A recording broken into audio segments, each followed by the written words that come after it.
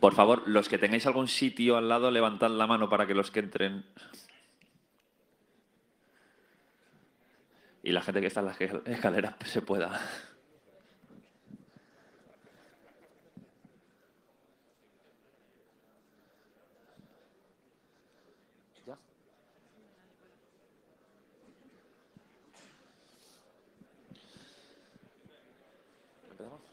Venga, pues vamos a empezar. Tenemos aquí a los Rubones que nos van a, a, petar un hacker en directo y nos van a explicar cómo funciona eso de Tlota.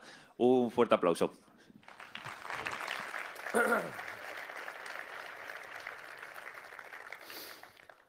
Buenos días a todos. Hola, eh, hola, hola. Vale. Nadie daba un duro a que íbamos a traer un cajero. Ni el transportista mismo, o sea que... Ni del banco en el que lo hemos robado tampoco. Eso te he dicho que no, para. No estamos ensayando. ¿eh? Eh, hostias. Bueno, eh, pues vamos a empezar un poquito, porque el tema de los cajeros es un tema muy recurrente últimamente y así lo están demostrando. Ponte aquí que no se en la otra. Nuestros clientes. quédate por ahí, si quieres. ¿Quiénes somos? Bueno, a mí a lo mejor me conocéis, soy el presidente de Navaja Negra, Rubén Rodenas, trabajo en, en Cibersot, una parte de Deloitte, y nada, pues somos unos apasionados de la informática y de la seguridad. Y bueno, que siga mi compañero. Yo no soy presidente de las navajas tampoco. soy aquí un segundo plano. bueno, compañero de Rubén y, bueno, muchas horas, mucho Telegram, muchas locuras. Y bueno, el LinkedIn para el que quiera, así que tampoco vamos a hacer mucha presentación. Y por último, el Win de la foto, que es el que falta, el hermano de es este. Una chupacuartos. Es un primo. De que, tenemos en, el, en el en laboratorio, hemos conseguido hacer ingeniería social para convencer a los jefes que nos compren dos. ingeniería social, atraco, yo qué sé. Bueno, hemos conseguido que nos compren. Total, que, que aquí está uno, que es el NCR y es el WinCore. Venga, dale que hay poco tiempo. Sí, hay poco tiempo. hemos, todo esto lo hemos querido orientar, sobre todo a la gente que vaya a empezar a auditar cajeros, con los problemas que nosotros nos hemos encontrado. Entonces, a lo mejor puede parecer un poco densa y que vamos a lo mejor a pasar algunos puntos muy rápido, pero vamos a daros las PPTs para que luego las reviséis vosotros y aquí simplemente vamos a ir un poquito, un poquito más rápido. Poner en contexto principalmente, claro. Eh, bueno, auditorías puntuales de, eh, de ATMs. Eh, en una empresa normal, cuando un cliente, un banco principalmente, pide a una empresa, bueno, a Deloitte en este caso, a o cualquier otra empresa de seguridad que audite los cajeros, pues bueno, hay algunas que no, pero yo creo que la mayoría al final pasa lo, que pasa que es, eh, hay un auditor que se va a enfrentar al cajero, eh, lo va a afrontar pues como si fuera una caja negra y, bueno, va a auditar el entorno, va a auditar si, tiene acceso eh, al sistema operativo y... Se afronta como una auditoría interna. Claro, como si fuera al fin y al cabo una auditoría interna. Entonces, hay falta de conocimiento específico del cajero, y, bueno, con suerte, si tienes tiempo, puedes entrar más, pues dispensa dinero para dejar la evidencia o capturas tarjetas. Y bueno, Al eh, final, pues eh, por falta de tiempo, de documentación y de material, teníamos que tirar del malware existente, lo reverseábamos y entonces así conseguíamos atacar al cajero. Esto nos dimos cuenta que no era la mejor forma, entonces empezamos a pensar en montar un laboratorio. Como tal. Claro, sobre todo por el tema recurrente, porque una vez que sale otra auditoría, pues igual este auditor que se ha dado con eso, le toca otro proyecto y el que viene se cuenta con las mismas. Claro. ¿Qué hago? No tengo nada, no tengo más tiempo, no puedo eh, profundizar el protocolo del cajero y bueno, pues una y otra vez, y vuelta a empezar. Claro, en el caso en el que el auditor no se haya ido a otra empresa. Sabéis que esto va, Entonces, va de fugas. Enfoque nuestro. Vamos a contar un poquito el, el planteamiento, si quieres. Sí, bueno, eh, por lo que ha comentado un poco también Rodenas, el planteamiento es, ya que el malware lo hace bien, vamos a ver qué hace el malware, qué comandos tira, qué, de, qué, usa para hacerlo.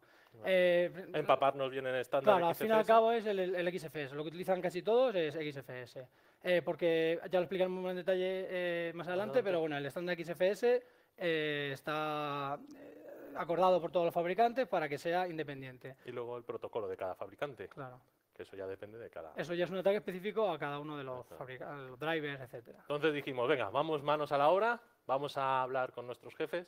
Algo sencillo. Como esto tenemos un problema, vamos a hacer un, planteamiento sencillo. Nos bajamos el SDK, que es gratuito, lo bajamos, ya está, y simplemente compramos una ADM para hacerlo. simplemente. Mm, Nos sentimos un poco como esta chica. Yo soy el periquito. Y Vale. bueno, sí, básicamente, pero Ese él- yo, bueno, no sé si eso o lo- los jefes o bueno, la verdad es que estaba- Imaginaos la cara del jefe cuando llegamos y le dijimos, eh, necesito 6.000 euros. A partir de ahí todo era muy difícil. Por eso tenemos que dar las gracias a Deloitte, por eso habéis visto el logo anteriormente, porque nos han apoyado desde el principio en este proyecto que yo creo que era para nosotros muy importante y que nos va a ayudar muchísimo en un futuro. Así que muchas gracias a Deloitte por habernos no apoyado. nos han dicho que no en ningún momento a ninguno de los, bueno, aquí va la historia, ¿verdad? Sí, sí, aquí va la historia. pues no nos, La explosión. no nos han puesto ninguna pega, bueno, en lo que empiezo si quieres tú con la parte de, de Sí, la- la bueno, compra. en principio, eh, eh, para comprar un cajero no es fácil. No vas al chino y le dices, oye, dame un cajero. Sí que es cierto que fuimos a un chino, nos intentó estafar, Uno, nos intentó diez estafar. o no sé cuánto Aún estoy recibiendo spam del chino. Y Por así, cierto, así fue, No pidáis cajeros a chinos, si queréis cajeros. correcto. O si queréis que nos venga un palé de una tonelada de. Todo no esto sé. no lo hemos dejado reflejado porque creíamos que era importante contarlo en persona y no en las PPTs, porque es un tema muy difícil. Nadie te va a aceptar PayPal, nadie- ninguna aseguradora, aseguradora te va a asegurar la transferencia. Al final todos quieren que lo pagues con Western Union. Es un, un poco complejo. Entonces, sí que nos pudimos dar cuenta, investigando un poquito, que el chino nos iba a mandar un- una, tolera- una tonelada de mierda. Así que dijimos que el chino no. Y nos arriesgamos con un turco, que es mucho mejor. Esperan, un tu- Ah, no, no, no. No, no, no. eh, Una mierda, un kilo de kebabs. No, en serio. Oye, hay Eh, gente que le puede gustar más el turco que el chino. Sí, también. Pero bueno, al final, finalmente, hablando con el chino, fue muy difícil encontrarlo. Estuvimos buscando en eBay. Llegó un momento de locura que puse ATM en Amazon. Yo ya no sabía qué hacer. Era una puta locura. Al De final. hecho, perdón, había un chino que decía, yo te doy el cajero, pero eso de abrir la caja fuerte ya es un tema que te Correcto. tendrás que apañar. y- y Yo si quieres te lo doy, está cerrado, tú ya... Eso nos bueno. pasó, ¿eh? Y yo le cara fue un dije, poco como. ¿y Vale, pero la, la cuestión es que le dije, ¿vale para cuándo? Porque es que no teníamos, ya lo abriré, me da igual. ¿Tu Uno, madre fabrica cajeros? o Dos, tres, ya llegó, solo tiene 100. No hubiéramos llegado. La Vale. cuestión es que habría que... Bueno, como veréis a continuación, bueno, sí que es cierto que no hemos tenido todo el tiempo que nos hubiera gustado para hacer las PPTs, y, y- pero bueno, al final yo creo que se va, se va a quedar reflejado nuestro trabajo. Eh, ¿Lo dices por acabarla ya las sí, cuatro? eh, no, eh, vamos a ir rápido porque si no, no tenemos tiempo. El turco al final sí que accedió a vendernos el, el cajero. eh, vimos que era un, un poco de confianza, como os he dicho, Sí. fue muy difícil encontrar el, el contacto. De hecho, el y- turco me decía si era yo el chino. Me dice, oye, ¿eres Sí, chino? correcto, es Porque verdad, es se me ocurrió llamarle. Oye, Sí, sí, mira sí. que necesito un cajero. Eh, oye, ¿eres chino? No, no, no soy chino. ¿Y tú? No, yo tampoco soy chino. Joder. Bueno, Y- ¿quién es chino? Nos dimos el Telegram y avanzamos mejor. Porque... Cabrón, que esta gente tiene que comer. tío. bueno, pero date prisa. Eh, vamos a. Entonces, hablamos con el turco. A mí no lo Y cuentes, el no sé. turco no quería asegurarnos la transacción de ninguna forma, así que tuvimos que decirle al jefe, hemos venido a jugar. Sí, sí. Y nos dijo, ¿cómo que te tengo que soltar 4.000 euros sin ningún tipo de garantía? Sí, así es. ¿Quieres los cajeros? Hombre, yo no los quiero ya, pero yo sí, venga, va. 4.000. Nos pusimos a rezar, nos dieron un número de serie y ahí nos iban poniendo letritas y hasta que llegó el cajero. Esa ha sido un Sí, de hecho costaba, bueno, la cosa es que el turco se dedica a restaurar cajeros, este el que, por ejemplo, uno de los que, los que nos ha mandado. Entonces me decía, ¿qué cuesta un cajero? 3.000 euros. Dije, venga, va, mándame uno. Y me dice, bueno, no te preocupes que te lo pinto, te lo galvanizo y te lo mando. Dije, ¿cómo que me lo pintas y me lo galvaniza? Sí, hombre, sí, es que yo hago eso. Ya, y si no me lo pintas y no me lo galvaniza, dice, entonces son, son 1.500. Le dije, vale, pues dame dos. el Wincore y el NCR. No le iba a decir a mi jefe que el precio era, ma- era menor. Ya que me había probado los 3.000 euros, dame dos. Sí. Perdona, Diego. Bueno, Bueno. eh, a partir de ahí todos siguieron siendo problemas. Sí, luego en aduanas te dicen, ah, qué guay, que habéis comprado 3.000 euros. Ya, pues. bueno, Montoro ocho- nos paró. o- 800 euros de transporte que costaba, eh, más en aduanas, venga, que nos necesitamos ya, 800 euros más. Y claro, mi jefe dice, encantado. 800 euros más así de sopetón sin contemplar. Venga, claro que sí, vamos, vamos. Venía sin driver, venía sin nada, venía limpio. Nosotros hicimos un poquito de forense al disco duro Sí, sí. y bueno, encontramos de todo en el disco duro. Malware, Malware, es verdad. Una Eh, carpeta que- pone malware. tetitas. Lo de las tetitas no es broma y la verdad es que a las 4 de la mañana te, te da una alegría el tema.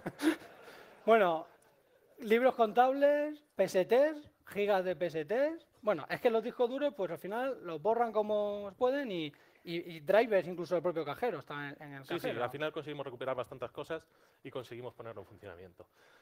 Eh, una de las personas Esto, con las que contactamos para conseguir un software que venían con todos los drivers de NCR, que es en este caso, para poder hablar y poder eh, y que nos dieran una ayudita, nos dijo que no se fiaba de nosotros porque éramos auditores. O sea, dijo algo así como, bueno, que lo podéis leer ahí. Es como, mira, a mí me da, yo que soy, yo que soy fabricante, Se nos quedó esa cara. dice algo así como que yo que soy fabricante y hablo con NCR y equipos de seguridad de investigación, bueno, etcétera, hemos concluido que el motivo de que haya tanto malware y estén atacando tanto a los bancos es que es muy fácil ejecutar un cajero en tu garaje o ponerlo en entorno laboratorio. O sea, ese es el motivo por el que hay cada vez más malware. Entonces, bueno, pues para decirle... Sí, claro, porque ¿por qué vamos a hacer política segura? ¿Por qué vamos a aislar? ¿Por qué vamos a hacer nada de nada? El motivo es ese, que lo sepáis, así que no coges cajero. Pasamos a la chichona. Auditoría de ATMs. Vamos a sacar los troncos y hacer un poquito de humo. Esto es lo que, pues una PPT en la que se ve lo que hay que procedimentar en el caso de una auditoría de un cajero, que es como cualquier otra auditoría de un dispositivo SCADA, al fin de, de cuentas. Y bueno, al final es la revisión de los mecanismos de comunicación, revisión de la seguridad de recursos críticos, revisión de la configuración de los desarrollos de terceros. Bueno, lo que al final se, debe- se lleva haciendo en cualquier tecnología que vayas a empezar a estudiar, ¿no? Eh, no sé si quieres decir algo de aquí. Eh, no, bueno, Al final. sí, es un poco eh, auditar el entorno, auditar eh, lo que es el, el servidor, pues si tiene, eh, está dentro de un controlador de dominio, por lo que tenga la, la- la el, el cajero que está corporativamente, digamos, eh, dentro de una red corporativa. Y, No nos van a comprar el cajero, ¿eh? No, ya, ya. Bueno, dale un momento para adelante. Y luego la parte de desarrollo de terceros, porque esto al fin y al cabo, la industria, digamos que el cajero es, está el fabricante, eh, que el fabricante, la parte del hardware, la parte de- del software, middleware, que ahora lo explicaremos. Luego está eh, todo el sistema operativo, que va a tener que tiene un Windows, normalmente llevan Windows XP o que también para Linux, Windows 7. Y luego el banco, al banco le viene poco menos que así, con un CD. Entonces él ya tiene que hacer su aplicación, porque aunque los fabricantes tienen la típica pantallita de dispensar y todo, el banco necesita hacer su aplicación. Entonces hay muchos vectores, digamos, para muchas potenciales vulnerabilidades. Correcto. Gracias. Bueno, fabricantes, vamos a hacer un breve repaso por todos los fabricantes que hay. Ya decimos que esto también iba un poquito eh, orientado a la gente que fuese a acceder a auditoría para que tenga unos conocimientos básicos de lo que, de lo que hay que hacer. Esto es un poco de Wikipedia. NF eh, NCR, que fueron los, eh, los encargados de estos ATMs y son uno, uno de, los, de los primeros, podríamos decir, ¿no? que ya Sí. llevaban Windows NT y Windows 98. Buena idea. Y ya introducida las medidas de, de antivandalismo, ¿no? algunas primeras medidas. Aquí llevo el INCR, eh, creo, creo que en 1800 y pico ya tenían caja de seguridad. Entonces luego, digamos que hemos empezado aquí, porque es el corte que ya nos interesa, a partir de donde ya tienen pues un chip, o sea, ya donde tiene algo con lo que hacer, algo que no sea pegarle un dinamita y, Correcto. y abrirlo. Luego han ido mejorando y bueno, aquí fuera podéis encontrar uno. Os pedimos que no apliquéis lo que aprendáis aquí con el de fuera. Y como veis, estos ya van más bonitos, son mucho más bellos. Es más orientado a la experiencia de usuario, más... Correcto. Ahí, bueno, ahora lo explicaremos, pero ah, bueno, luego pasamos. Sí, los sí. lobby, ¿no? Y NCR no solamente hace cajeros, también hace eh, las, Punto de venta. los de- puntos de venta que podéis encontrar en Carrefour. O sea, que no se difieren tanto de un, de un cajero. El ¿vale? dispensador, al fin y al cabo, son la- aunque tiene distintas formas, pero usa el mismo protocolo y eh, se gestiona de la misma forma. Tú echas las monedas o sacas el billete y, y es a fin de cuentas la misma. Que no se os olvide el billete porque suele pasar que la gente se deja el billete abajo. Wincor, otro fabricante de, de ATMs, ¿vale? Igual, eh, ellos hacen sus ATMs de, de otra forma. eh, son fabricantes de, ha- de hardware todos, de hardware y software. Eh, bueno, aquí es cuando Diebol compró Nisfor. La guerra entre NCR, yo creo que era líder, no sé qué más facturaba, y con esto pues se posicionó Diebol. Y bueno, más marcas, ¿vale? Las hemos querido dejar Espera, mostradas. sube, sube. ¿Sí? El de la izquierda es el más seguro porque es chino. Y ese, el Nautilus y Grayson, este, es de los que creo que van a empezar a tenerlos aquí. A... Bueno, y vamos a hablar un poquito de, de software que nos vamos a encontrar en cada dispositivo, ¿no? Eh, Aquí, Agilis, que es eh, con el protocolo 90X, 9010, 9011, 9012, Ah. y el middleware, eh, Diebold Agilis Empower. Aquí ¿vale? es donde se eh, diferencia la parte de que el fabricante tiene hardware, los cajetines. Ahora explicaremos por qué esa diferenciación, pero la tienen. Y donde luego cada fabricante, lo- eh, no solo en su día eh, hicieron su protocolo de comunicación, sino que lo estandarizaron y digamos que era, podían ser reutilizables incluso con otros con otro fabricante, pero bueno, en principio eh, se estandarizaron, hicieron un estándar de protocolo de comunicación al hardware. NFR igual, más de lo mismo, van creando sus propias vías y sus propios protocolos, ¿vale? Y su propio Se iban en middleware. evolución en. NDCRMX, en NCD+, y van, bueno, iban evolucionando. Y luego por otro lado está, o sea, por un lado comunicación con el hardware y el middleware, y ahí vienen las... Y Cogerlo. Wincon Nifor, igual. ¿vale? Más de lo mismo.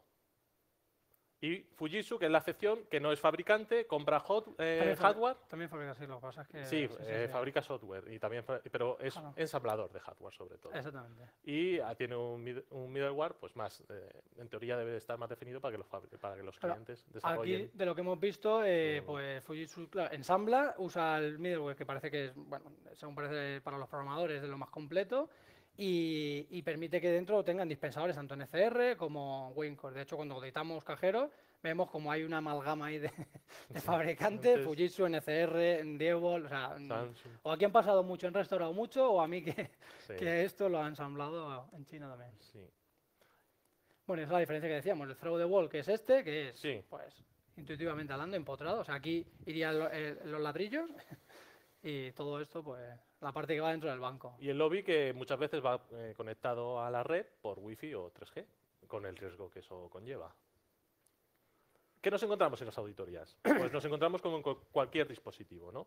Nos encontramos que o somos usuarios administrador o somos usuarios administrador. No, somos usuarios normales.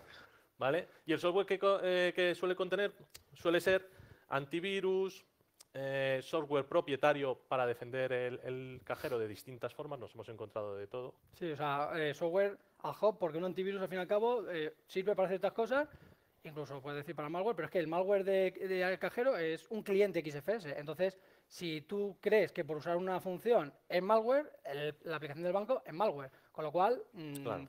implementan, eh, los clientes, al fin y al cabo, implementan, el Qué propio bueno. fabricante implementa soluciones un poco ad hoc. El antivirus tampoco es. Claro. difícil. Eh, nos encontramos software de gestión, al final. Eso es un bueno, poco también para ver la superficie de ataque a Sí. un cajero. Pues si tienes un Demware y está desactualizado o tú necesitas, eh, porque claro, pueden haber redes de cajeros de miles de cajeros y, oye, hay que actualizar esta versión o simplemente la aplicación, Sí. porque hemos cambiado un logo. Pues claro, tienen herramientas de gestión remota, no va al técnico siempre. En algunos casos sí, hay clientes que incluso dicen, mira, es que como entiendo el riesgo, tengo que irme, pero igual no, no actualizan. O sea, es un, es un terreno un heterogéneo. Heterogéneo, sí. Luego hay aplicaciones que van... Bueno, las cosas cuando funcionan bien, ¿no? Y se protegen bien, pues al final todo funciona correctamente. Eso es lo que nos ha pasado en todas las auditorías que hemos hecho de cajeros, ¿vale?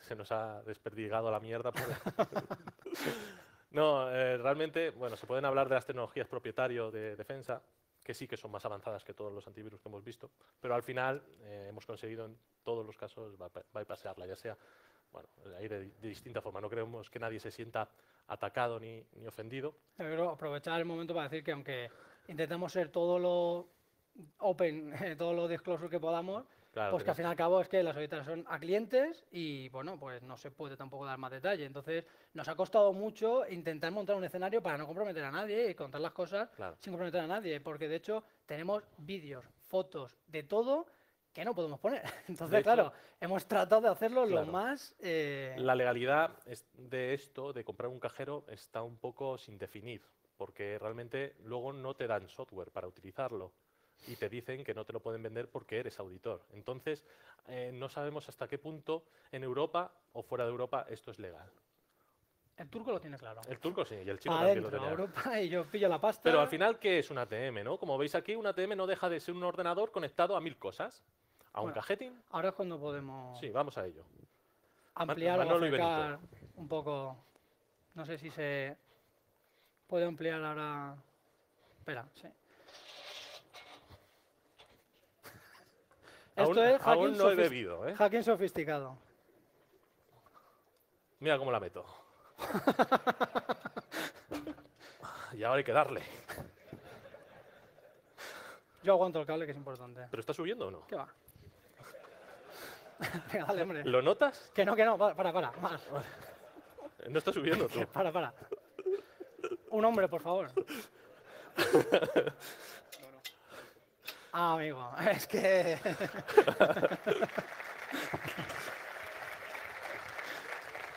Somos informáticos. y esto sin preparar, ¿eh? Imagínate si lo preparamos ya. Vámonos. Madre mía, tú. Espera, espera, espera, tira, tira por aquí, tira por aquí. Ahora. Son 3.000 pavos, ¿no? Bueno, este es 1500. sí, Lo que cuesta es traerlo. De hecho, en transportarlo de aquí de un lado para otro, de para otro a uno, nos hemos gastado más que en el cajero. Menos mal que lo Mira, paga se la abre solo, esto es automático. Menos mal que lo paga la Rute, tú.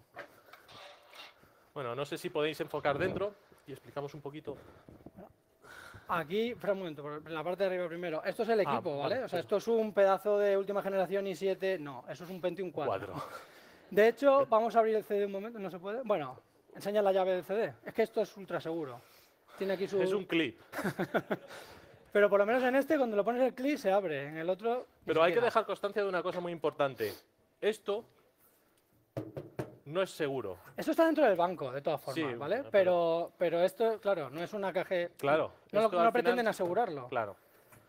Eh, está la parte de impresora de ticket. Este es el, el panel de test de hardware, digamos. O sea, con esto puedes, en realidad, gestionar todo, el, eh, hacer todos los tests y todo el cajero, aunque no tuviera el ordenador. O sea, puedes ir por los menús y hacer, pues bueno, determinadas cosas. Este es el- esto es lo que a la gente le interesa, porque ¿para qué vamos a engañarnos? Los cajetines. Este es el cajetín de rechazo. Aquí tenemos la pasta de 100 Quita de este. pavos. Sí, Espera, a ver este si se Mira a ver que se. ¿Vale? Estos son los cajetines, no sé si se puede bajar un poco para que se vea en el vídeo. Bueno, no sé. Este, este es el cajetín de rechazo, pues cuando lo, veis que sale el dinero, pero no lo, por lo que sea, no lo cogéis o lo retira antes, no vuelve a los cassettes. Lo que hace es que lo deja en, este, en esta caja recicladora. ¿Voy a sacarlo? Espera Sí, para aquí. que, ¿vale? Una caja recicladora para que luego eh, al día siguiente el del banco entre y diga, pues este billete que me han intentado colar, la verdad es que no, es ver- no- no es de verdad. Sale nuestra cara. Dice el cajero que no lo han recogido, pero lo que han hecho es aquí hacer el cambio. Con lo Sí. cual este, nada, no se contabiliza hasta que lo hace. Lo hace un humano. Y luego, pues, Todos los demás. este no, este. Bueno, aquí, de, manera muy profesional, pone la etiqueta con la, Con la anotación del billete. Este es el cassette. Se ha caído esto tú. ¿Eso dónde va? y nada, y aquí tenemos nuestros megabilletes con guillotina preparados al uso. Hay que llamar al turco que te has cargado un cajetín. Sí, ¿qué ha pasado? Esto luego lo pegamos con superglue. ¿Tienes chicle? Sí. Vale, Nada, tranquilo. espérate a ver si ahora no va a entrar bien. Ahora, ahora lo vemos, sí. Vale. Estamos en una charla, tío, no podemos... saber. No, ya lo sé. tío. Eh, no sé si quieres le doy para sí, que espera, pa- espera que pase- lo cierre.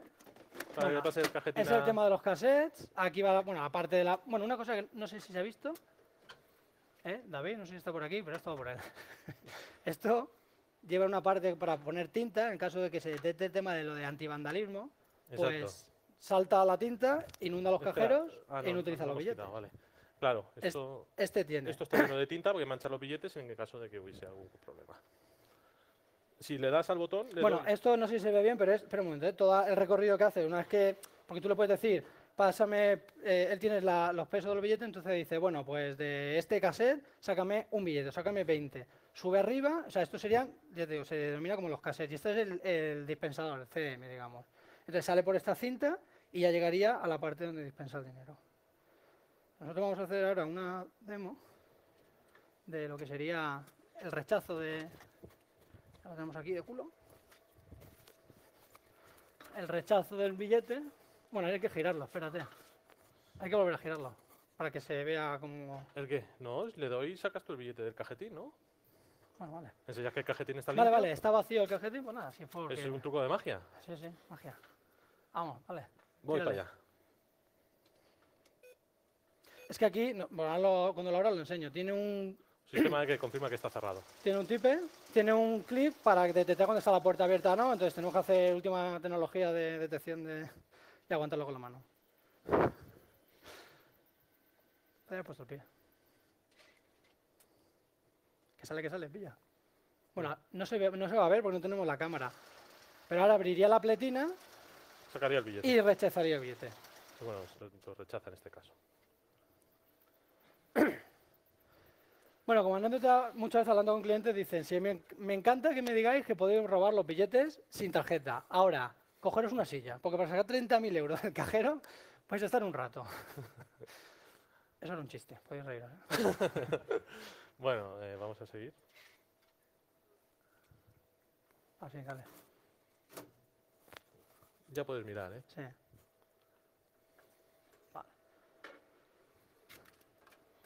Ah, lo que se ha caído es la pletina del lado. Claro. Ah, no está. Hemos cortado antes de tiempo. Vale, fail. Bueno, se- lo habéis oído. Lleva el, billete a- al otro lado. Es que no podemos perder más tiempo porque estoy viendo que ya son Vale, bueno, eso, a ver que va por cajero. 25 está en minutos nos quedan o llevamos 25 minutos. Bueno, este es Pues el rápido. dispositivo este que decía. Luego, si no, lo hacemos otro ya. Vale. Bueno, esta es la estructura que, lógica que tiene un, un ATM Voy a dejar abierto para eso. con las distintas aplicaciones del cajero y dónde se situaría el malware para atacar al, al dispositivo de, dis- de distintas formas. Ya o bien atacando directamente a XSF API o a XSF SPI, ¿vale? O directamente atacando el driver, que también es posible.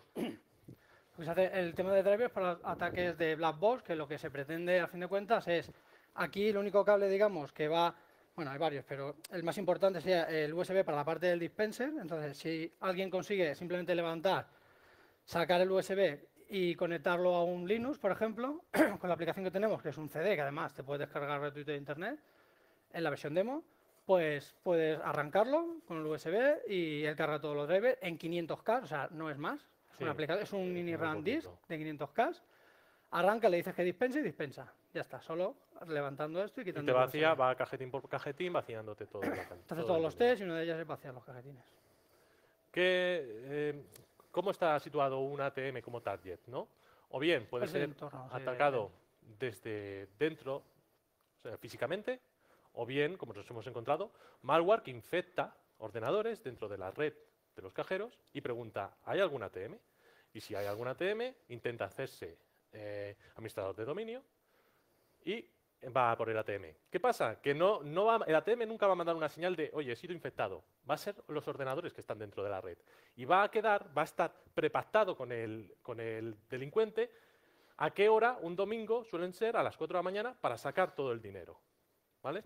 Aquí es un poco hacer ver que el ATM necesita conexión, interna- a, conexión a la red del banco porque necesita validar. Habrán cajeros que igual solo dan crédito o lo que sea, pero normalmente necesita eh, validar las transferencias o las operaciones que se hagan. Ya ni siquiera el dispensar el dinero, pero lo necesita. Entonces es por ahí, en esa conexión con el banco, eh, ya sea por 3G, ya sea por red interna, donde, lo donde eh, se, se le puede atacar. Y lo que decía Sí, del, del malware, claro, no, dale si quieres para adelante. Vale. El malware es un poco el hecho de que eh, puede que una empresa esté infectada por malware porque sí, porque hay alguien que tiene unos eh, costumbres de seguridad muy malas y se pone a navegar en la oficina, se infecta, empieza a extenderse por la red interna y al final llega a un cajero y resulta que el que gestiona esa botnet dice, pues yo aquí tengo carpetas que ponen ECR o lo que sea, y alguien que compra la botnet dice, a mí me interesa ese, Porque y lo compra y ya tiene acceso al cajero. Claro, No igual es un pasa ataque ni siquiera dirigido, es casual, eh, pero son está. exteriores con Wi-Fi y 3G. Bueno, se puede downgradear la versión y Si bueno, ya sabéis las vulnerabilidades de, de GSM. Vamos a seguir. ¿Qué pasa si pones en Sodan una de estas marcas? ¿Cómo de complicado es encontrar un cajero en internet? Esa es la... Esto la verdad se nos queda un poco de mal cuerpo al pensar que estas cosas están pasando, pero El siguiente paso de esto, bueno, esa es es- nuestra cara. ¿Qué coño?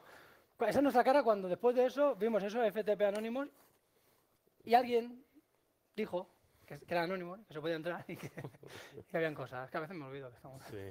Bueno, pues la cosa es que en esos FTP pues hay, de, había Hemos pues, de querido todo. también dejar reflejado un poco la evolución del malware que hemos encontrado, ¿vale? Hasta llegar a Reaper, el más avanzado.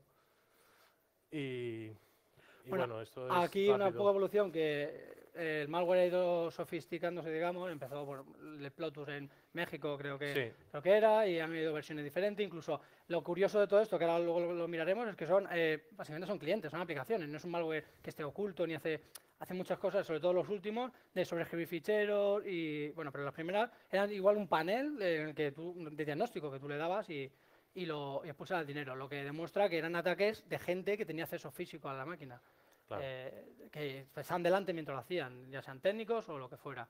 Y bueno, aquí en esta slide, Ah. gracias. Bueno, no lo hemos dicho al principio, pero lo vamos a decir ahora, que esto es un trabajo de equipo, que aunque vamos nosotros, Sí. esto ha sido 100% de tanto del pool de hacking como de otros compañeros. Dar las gracias aquí a la parte de Intelligent, que nos han facilitado todas las muestras en el momento que os hemos pedido, minuto cero, y hemos podido analizarlas y aprender mucho gracias a, pues, a otros compañeros de otros departamentos. Los ataques físicos se están modificando. Al principio, lo que se hacía era ir con un coche, echabas el cajero y ya veré cómo lo, hablo, cómo lo abro en casa, ¿vale? Eh, ahora no. Ahora eh, se están abriendo posibilidades, gracias a que tenemos tecnología en casa. Los picking, más impresora 3D, más arenilla. ¿Rodenas aburrido en casa? Yo soy Rodenas. Vamos, vamos, dale. Ese es el resultado. Como es 3D, vamos a hacerlo más serio. Si veis la llave de arriba no tiene ningún tipo de seguridad, se puede imprimir, ¿vale? Esta llave no tiene ningún tipo de seguridad.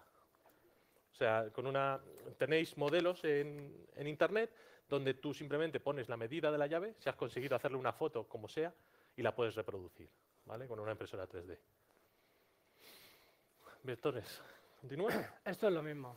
Sí, bueno, esto es lo mismo. No, Es, igual, pero ¿cómo, cómo hablar- atacaría el malware? Claro, hablar la diferenciación de que cada dispositivo va a tener un driver, de que eh, luego está el service provider, que es el SPI, ¿vale? El XFS SPI, que es el que ya está dentro del estándar de- del SDK de XFS, pero va, lo implementa cada fabricante. Hay una librería de cada fabricante, que ahora lo vamos a ver en detalle, que implementa esas funciones. Eh, luego está el XFS Manager, no, va, baja, baja. Me pongo nervioso. El XF Manager, no me hablar, ni que fuera, no, no tenemos tiempo. Luego está el XFS Manager, que es el que está intermedio, porque eh, el XFS permite la, la gestión distribuida, aunque normalmente al final todo el mundo lo instala en, en, en localhost, digamos, pero permite que desde un workstation pudieras eh, enviar comandos de XFS a otro workstation y para poder deslocalizarlo y hacerlo. Entonces, eh, luego por encima ya está el XFS API, que cada dispositivo, digamos, o sea, ca- cada aplicación, cada, eh, sí, cada grupo de aplicación utilizaría. Aquí no, hemos diferenciado. Eso tiene puntero, ¿no? Pero si no sabes usarlo.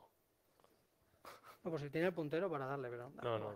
Bueno, eh, aplicaciones financieras del banco, eh, aplicaciones remotas, pues puede ser el banco, pero que lo haga bueno, desde otra localización, que no sea por XFS. Herramienta de diagnosis, que no es solo este panel, sino que aparte hay software de NCR, Wincor, que es de diagnóstico, que te permiten chequearlo todo y utiliza XFS y el SPI, o sea, tanto API como SPI. Y luego el malware, o sea, son los diferentes enfoques que hay al fin y al cabo de... Y que no te van a dar si no eres un banco. Claro, Ese el malware sí. Bueno, sí, El es un malware banco, sí. claro, claro. sí. bueno, eh, ¿qué dice el XFS respecto al tema de acceso eh, a SP? Yo creo que aquí explico lo de la protección. Hay, lo que hemos hemos encontrado en diferentes clientes eh, son protecciones de muchos tipos. Hay una solución específica de cajero que lo que te hace es, eh, de una empresa, que lo que te hace es que te cifra el disco, que es una recomendación del fabricante, pero que no lo va a hacer el fabricante. Y, y ellos esto lo hacen a nivel de BIOS y, bueno, modifican la BIOS para que hagan el cambio. Además aplican un, eh, un driver para hacer un poco también de, de host eh, IDS, ¿no? De, te filtra puertos, te, te, mm, te impide ver ciertos ficheros y luego hay aplicaciones eh, es que eso bueno, lo hacen también en la aplicación, pero bueno, igual te, Sí. vale, te va por listas blancas, eh, entonces solo te permite hacer, acceder a XFS si estás dentro de esa lista blanca. Sistema hiper seguro e hiper, bueno. Eh, bueno, y todas esas protecciones pues, al final se saltan, ya sea pues desinstalar con un anti-rookie, ya sea con al final desactivas el servicio, el administrador, elevas, todo eso pues es La un día, una jornada, no es al final no, no es una cosa no es ni siquiera difícil. de lo que hemos visto. Luego, ¿qué pasa? Que hay más capas. A nivel de XFS hemos visto cómo se juquean y cuando tú intentas ir a la librería MS XFS, pues te dice, es que tú no eres el programa para el que yo veo que, bueno, mm, si sabe que pesa tanto, lo que sea, características de, de ese proceso. Entonces, bueno, como no sabes eh, inyectarte en procesos, pues dice, voy a usar otra, otra, otra solución, porque inyectarte en un proceso no es una manera. ¿Vale? Entonces, ¿qué pasa? Pues que el API ahí tenéis a la derecha todas las funciones de, de WFS, que es el API, que es el que utiliza la librería estándar, utiliza todo el malware.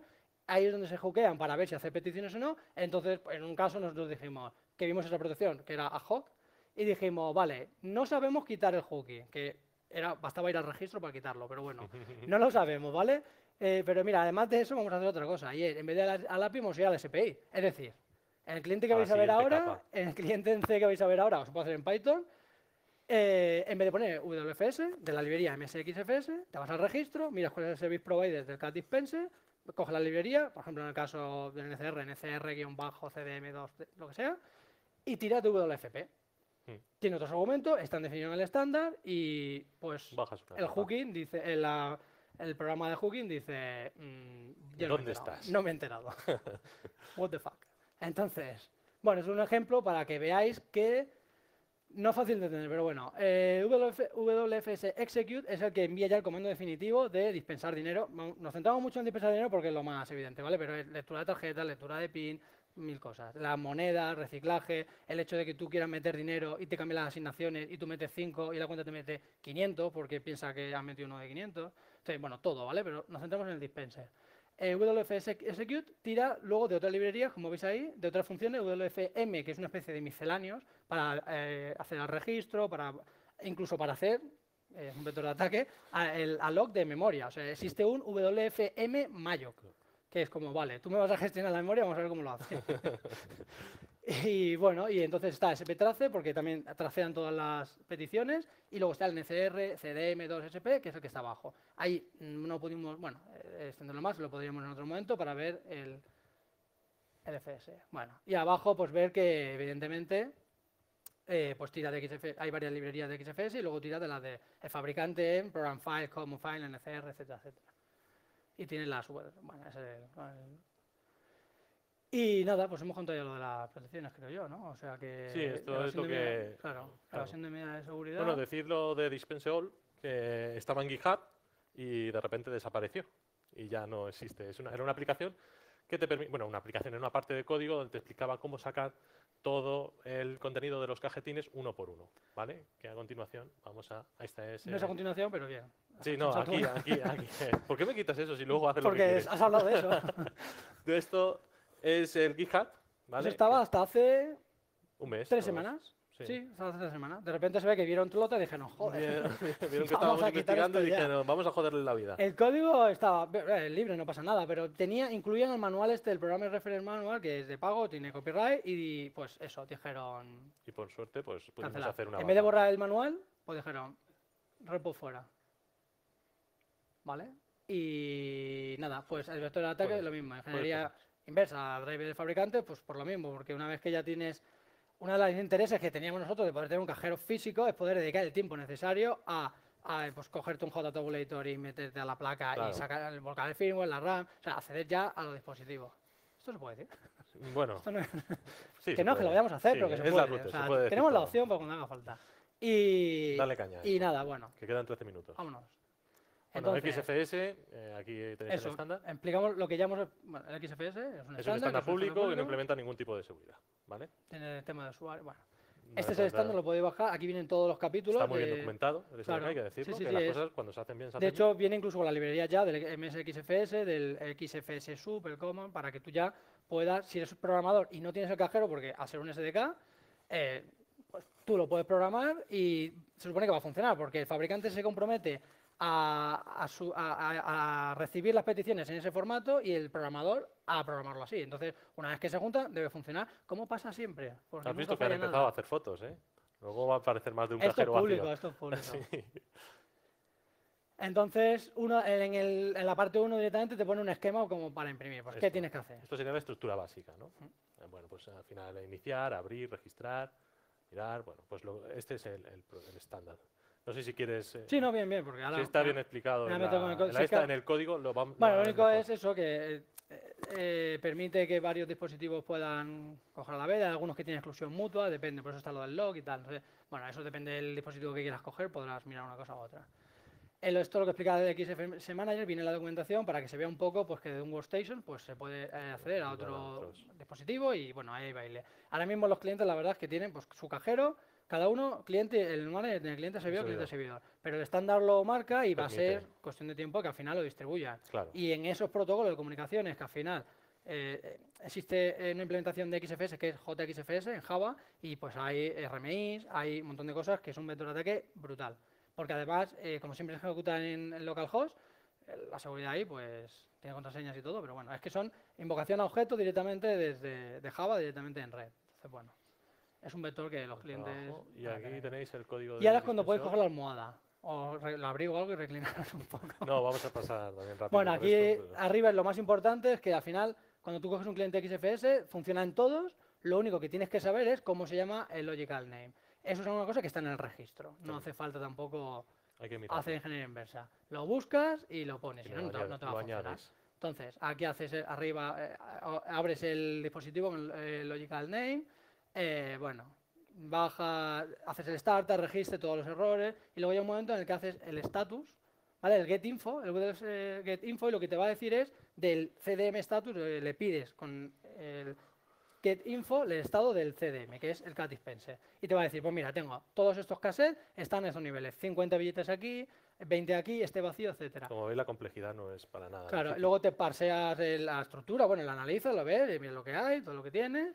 Y, Y luego bucles a saco. Claro, bueno, tiene uno para re- recogerlo todo y luego otro bucle al final, Haces una yuke. que es con el que, que es con el que eh, aquí, que es con el que ya vas a Vaciar el el dispenser data y te dice, bueno, pues por cada uno de los cassettes vacía o bueno, este tiene un argumento para que le diga, sácame uno de cada cassette o vacíalo si no pones nada. Entonces, pues hace el F- WF execute arriba, a la mitad de la, de la pantalla, que pone WFS CMD CDM, o sea, eh, o sea, el comando de CDM dispense.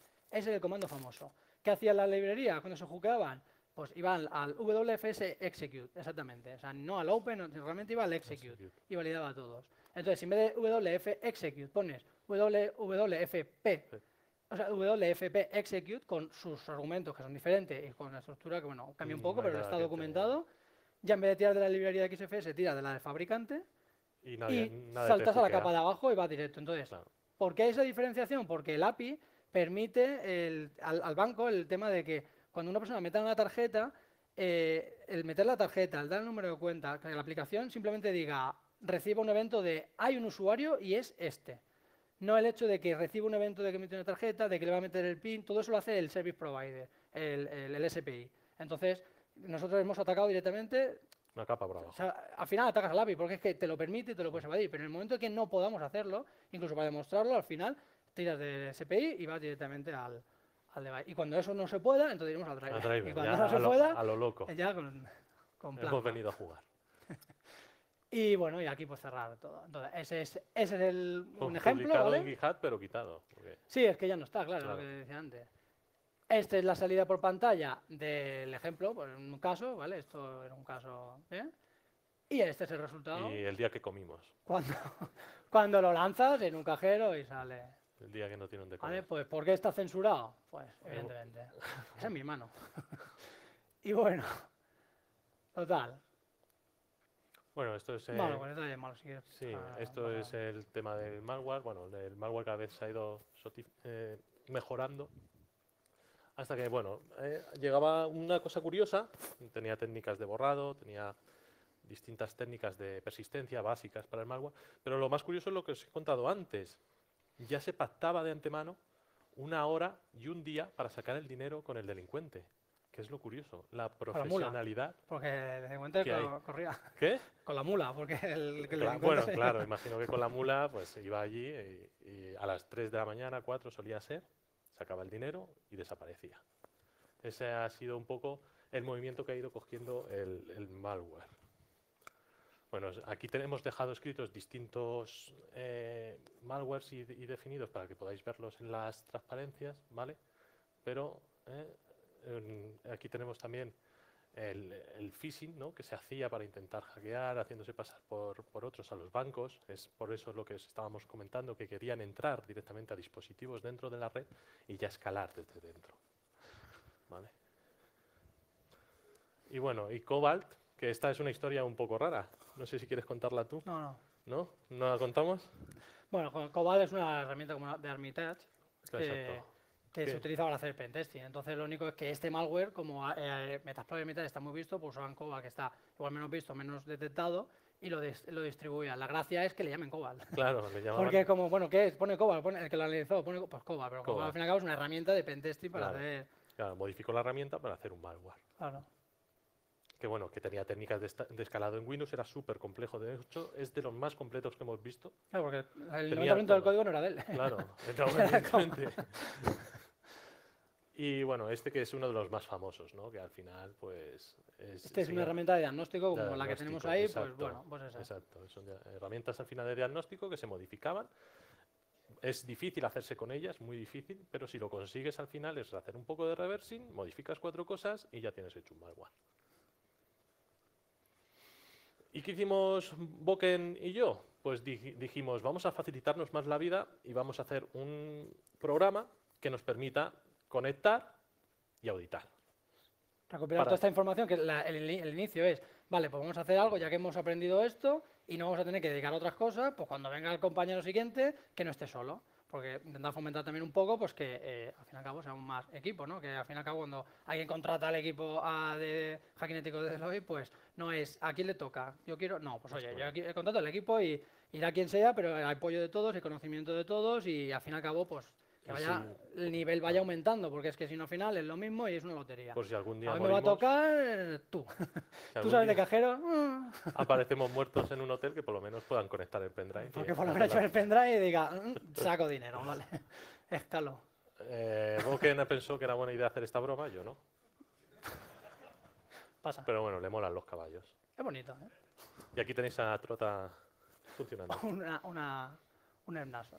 Vale, y sí, bueno, es una salida. De, de- este está en beta, la única es, pues bueno, hemos recuperado lo rápido que es mira el registro, Sí, intenta por XFS, si no vale XFS, pues tira SPI. A una prueba de concepto sencilla. Luego vamos a intentar mejorar más, publicar el código y todo, porque es que, bueno, sería, estaría bien. Esto se puede. eh, eh, utiliza- esto está en Python y lo que utiliza Ztype para cargar la librería y hacer la invocación a la, a la función correspondiente. Bueno, es un ejemplo, no es de Tlota, pero es uno de los módulos que primeros que hicimos, con lo que luego lo metimos en Tlota, que es una cosa así, en Ztype, pues oye, te importa la librería MSXFS, lo de arriba, la típica cosa que suelo hacer para meter el inted y que me salte el immunity, pues arriba tenía comentado el, el, el otro, pues está ahí comentado, lo de el int3, que es el MSXFS modificado. Y luego abajo el NCR, para cuando lo usemos, ahí estamos usando por API, pues cuando lo usáramos por SPI, eh, cambiábamos para cambiar WFS por WFP. En fin, vale. Bueno, también darle las gracias a, a Javi, a- Neofito, que no está aquí y no, no podíamos... Eso fue una de las salidas que- de uno de los scripts que que, teníamos, falta, pues sí. bueno, una de las veces que salió pasta, pues venga, de- instantánea.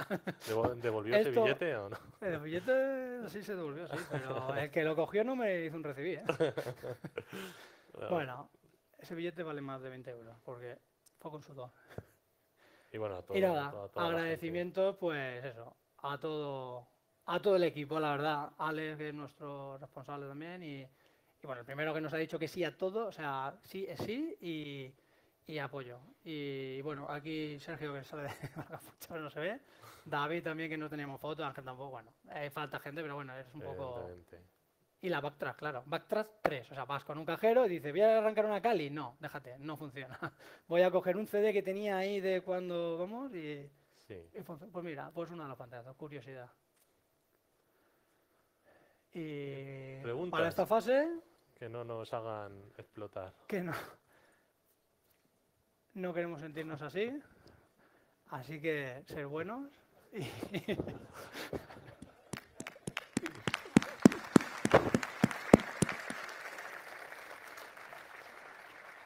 Ahora aún falta sobra tiempo y todo. Bueno, uno, que hay que llevar al cajero. Venga, vamos. Sin preguntar ni A bombear. ¿Hay preguntas? Sí. ¿Alguien quiere tocarlo?